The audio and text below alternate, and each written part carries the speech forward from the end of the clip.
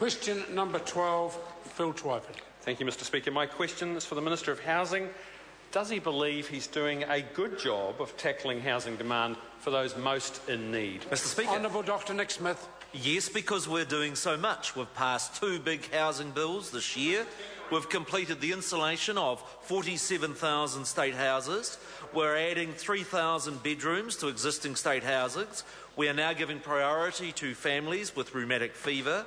We're funding 1,100 new community social houses, a record number. We're moving at pace to repair the 5,000 state houses damaged in Christchurch. We've helped 3,300 families through the Canterbury Earthquake Temporary Accommodation Service. We've built four temporary accommodation villages in Christchurch and we're building 700 new homes in Christchurch and 500 infill houses in Auckland. Supplementary, Mr. Speaker. Supplementary question, Phil Twyford. How can he claim his policies are working when the Child Poverty Monitor report shows 18% of children are below the poverty line before housing costs are taken into account, but a staggering 25% are below the poverty line after housing costs? Or is it just their fault for being poor? Oh, Mr. Speaker. Honourable Dr Nick Smith. Mr Speaker, I'd firstly point the member to the Massey University Housing Affordability Index that shows that housing affordability in 2008 was significantly worse than it is now. I'd also point to the measures this government has taken where every single state house by the end of this year will be insulated. That is something to celebrate. I'd point out this government is giving priority, for the first time ever, giving direct priority to families at risk of rheumatic fever for access to state houses as part of the Minister of Health program to reduce by two thirds the incidence of rheumatic fever. They are the things that will make a real difference to child poverty. Supplementary, Mr. Speaker. Supplementary, supplementary question, Phil Twyford. How does he explain that the number of children below the poverty line before housing costs has fallen by 15,000 since 2007, yet the number below the poverty line after housing costs has increased by 25,000 during the five years of his government's housing policies. Speaker. Honour, order, Honourable Dr Nick Smith. Mr Speaker, the first point I would make in respect to the poverty line is that it is set as a proportion of income.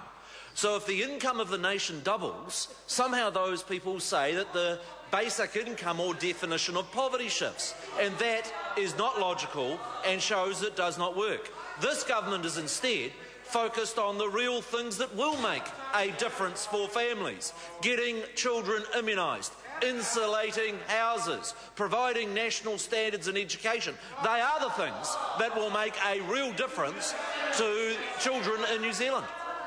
Supplementary, Mr Speaker. Supplementary question, Phil Twyford.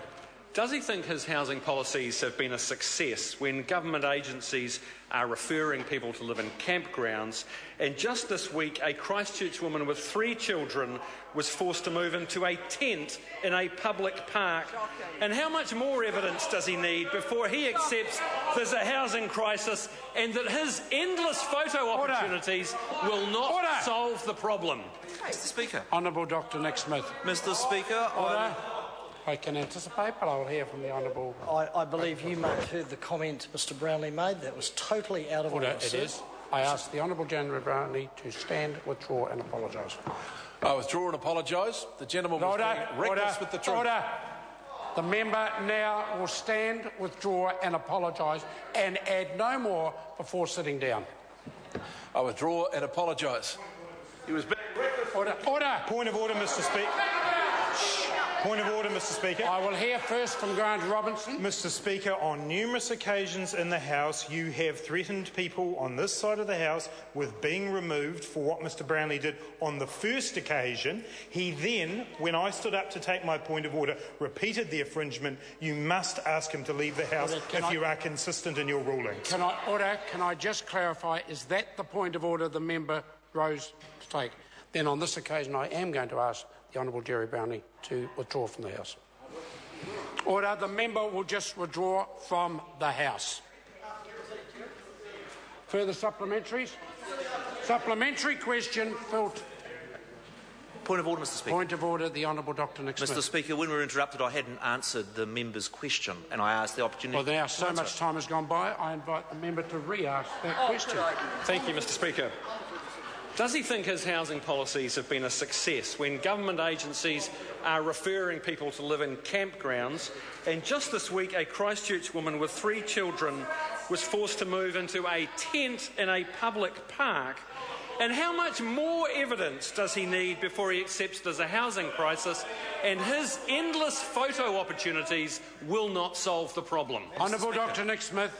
Mr Speaker, it is not acceptable for a family to be permanently living in a tent, although I could give numerous examples under the previous government when just that occurred, and that was without 160,000 homes being damaged in an earthquake and 14,000 that are permanently lost.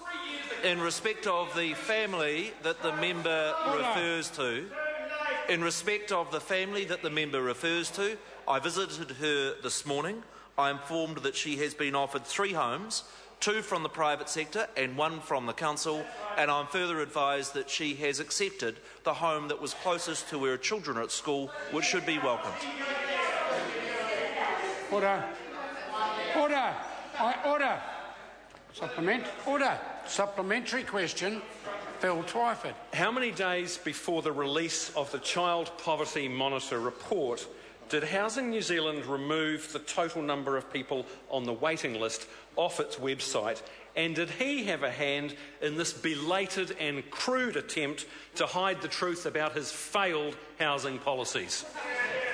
Honourable Dr Nick Smith. Mr Speaker, uh, the numbers on the waiting lists are a matter of public record.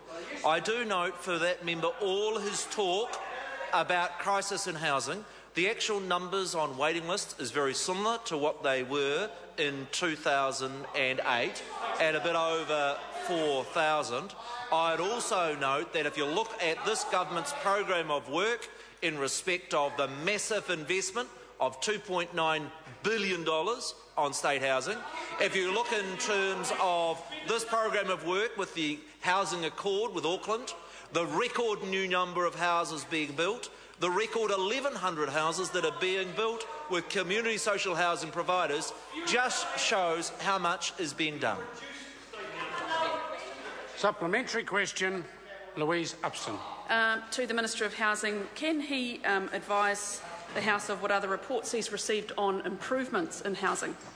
Oh, Mr. Speaker. Honourable Dr Nick Smith. Mr Speaker, the comprehensive measure of housing affordability comes from the Massey University, and I really would draw members' attention opposite to that neutral measure of housing affordability that has shown that over the last four years there's been significant improvements.